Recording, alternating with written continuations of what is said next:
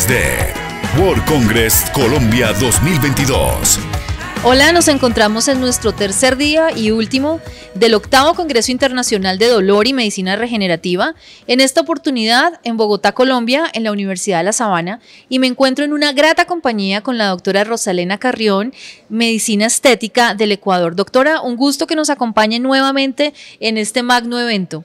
Doctora, hablábamos detrás de cámaras eh, sobre el tema de la medicina estética y un poco sobre las complicaciones de estas aplicaciones. ¿Podría contarle un poco a los televidentes que nos observan en más de 57 países ¿Cuáles son estas complicaciones? Claro que sí. En primer lugar, muchas gracias nuevamente la CISDET. Como siempre digo, es una familia que uno siempre quiere regresar.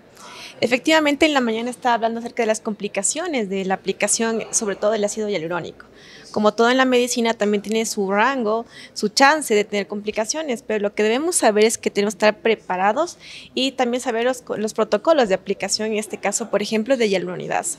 Siempre digo que todo médico tiene un rango de alguna complicación, a menos de que no practiquemos la medicina, pero si es que eso llega a pasar, debemos saber todos los protocolos de actuación que tienen que ser inmediatos en realidad. Doctora, eso es importante lo que usted dice porque Ahorita estamos en el auge de la medicina estética y hasta los hombres han entrado en esta, en esta, en esta etapa. Una pregunta, ¿cómo saber uno que cuando se hizo un tratamiento estético definitivamente tuvo un problema? ¿Cuáles son los signos más importantes? Perfecto. Podemos dividir en dos grupos importantes, que son las sobrecorrecciones y también los eventos vasculares. Si es una sobrecorrección, vamos a poner un ejemplo. Eh, si aplico ácido hialurónico en el labio, ¿qué es lo que puedo tener inmediatamente? Si veo que el labio se comienza a blanquear, que realmente corresponde a una isquemia, es una complicación vascular. O si veo a su vez que conforme pasan los días, comienza la red vascular a marcarse, hay dolor, es una actuación inmediata. Si por lo contrario pasaron 3, 4, 5 días y vemos algún tipo de, de, por ejemplo, inflamación o algo que el paciente incluso no le ha gustado, tendríamos más chance de esperar y poderlo resolver. Pero cuando tenemos una isquemia, tenemos un dolor, tenemos una inflamación, tenemos apenas horas para poder aplicar ya la unidad en el protocolo y poder revertir los efectos.